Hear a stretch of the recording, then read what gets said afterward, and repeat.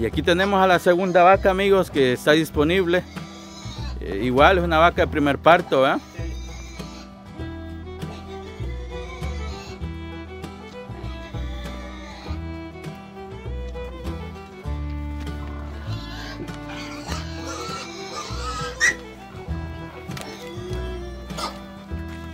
En este caso la cría también es una hembrita, ¿verdad? Maneja casi la misma edad que la otra, ¿verdad? Cinco meses, ¿verdad? Usualmente acá a los ocho meses o siete desmadran. Ajá. Es que me llama la atención porque aunque ya está grande la cría, pero se le ve que tiene bastante leche esa vaca. Ajá.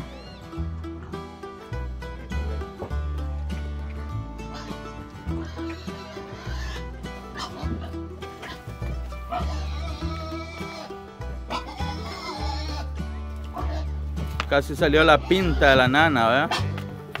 Negrita.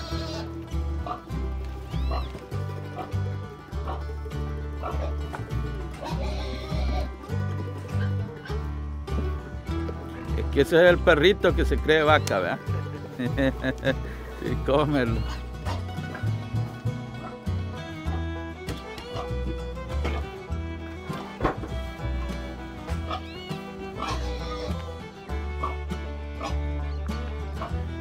Y en esta ocasión, amigos, de esta segunda vaca, eh, ¿qué precio le pondrían ustedes? Pueden dejar ahí en la cajita de comentarios cuánto más o menos vale una vaca de esta en sus países. Usualmente conocemos que en algunos países eh, no hay tiangues, ¿verdad? Eh, sino que se va al corral comúnmente y si le gusta alguna vaca se compra. Así es la forma de tratar. Acá en El Salvador si hay días de tiangue, de plaza, en el cual ustedes pueden comprar, ¿verdad? No obstante, siempre es cierto tabú, ¿verdad? Si llegan animales buenos, tiangues, usualmente se acostumbra más para confianza acá a los corrales.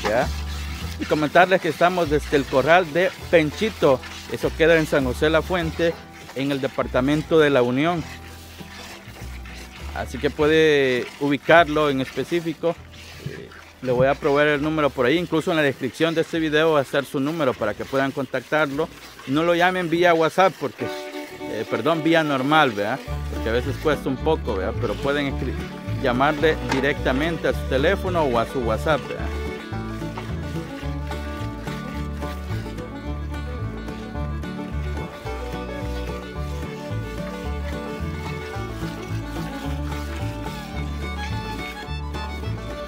Algo típico también es lo mismo, vea, vaca con una ubre muy suave a la hora del ordeño que facilite pues, ordeñarla, ¿verdad?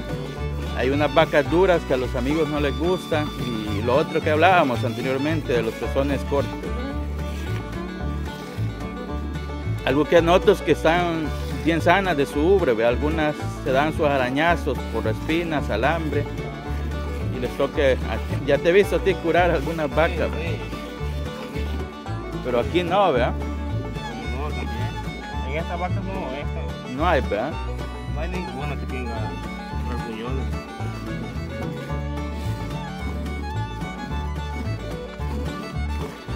Así está más sanita, sale la leche.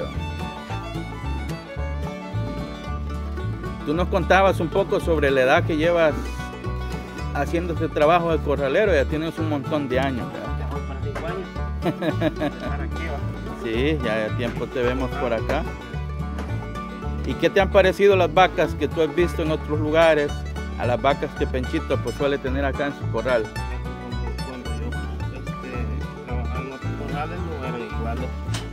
Eran más, más lindas. Ajá. Estos han buenos, ¿no? Han sido bien. La verdad que hay ganaderos que sí invierten en cuidar sus vacas, Sí. alimentarlas. Eh, sí es cierto, se va algo de dinero, ¿verdad? Se tiene que gastar, quiera o no, pero no es de dejarlas perder. Siempre se tiene que invertir.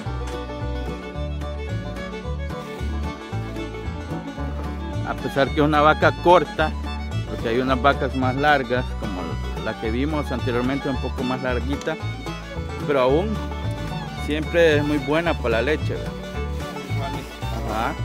así la estoy viendo. Y es de que hay cierto tabú. Este, vaca corta, que no se le eche de ver muchos sures, mala, ¿verdad? En el medio es bien común conocer vacas como la rata Jersey, que transmite buena cantidad de leche, a pesar que es una vaca corta. Así que no es de dejarse engañar a veces. ¿Cuántas botellas le, sacaste de esta vaca ayer? Bueno, ya vas a más de lo que voy a casi, casi 10 botellas. 10 botellas. Y mala que toma el chivo. Y lo interesante es que ya tiene 5 meses de haber parido su primer cría, ¿verdad? Ya va secando. Ajá.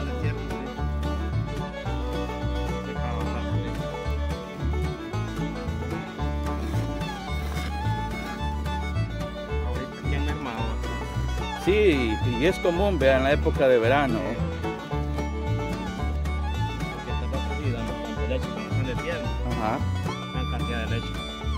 No sé si me decía Penchito que tuve pulso con las vaquillas que tengo porque ya la hice. Sí, porque estos días atrás cuando estaban de tierno sacaba un poco leche. ahí, ahí probamos la cuajada. Pues. De, dos tetas casi sacaba más lleno te daban cantidad, Pero ahora han mermado bastante. Ya que ya, ya grandes las crías. ¿Y, y esa, esta vaca que está ordeñando, qué cruce tiene? Tiene este, con corte. ¿Y la anterior que vimos en el video? Igual. Igual. Con, con.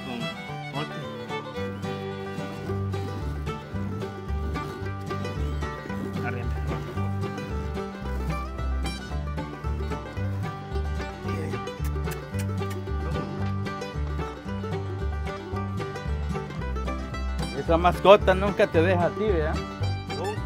Nunca. Nunca. Ah, la veo que. Pero ya no es tan bravo conmigo. Solo aquí cuida el puesto porque sabe primero.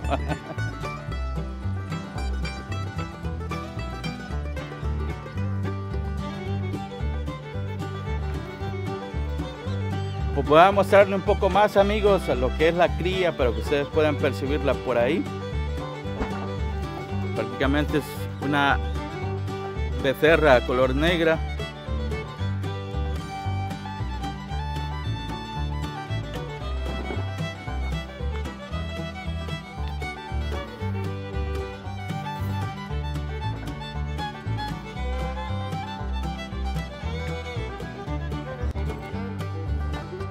Y acá está amigos, les decía que a pesar que es una vaca corta, primer parto, no obstante da buena cantidad de leche.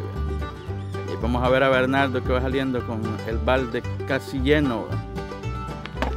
Vacas así valen la pena, la verdad. Este, en su segundo parto, tercer parto, pues van a desarrollar. Van a dar un poco más.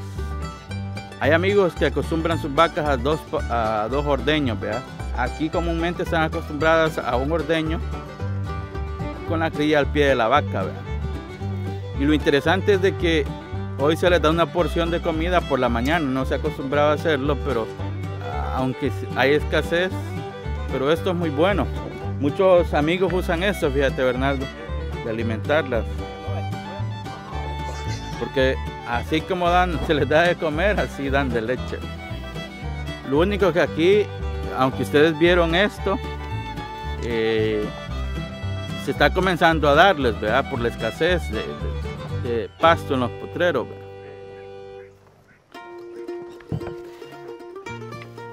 Pero no fue para que dieran más leche, porque algunos acostumbran eso. Eh, me gusta mucho que Penchito es una persona honrada en lo que tiene que ver con su venta, lo que es malo lo dice y lo que es bueno.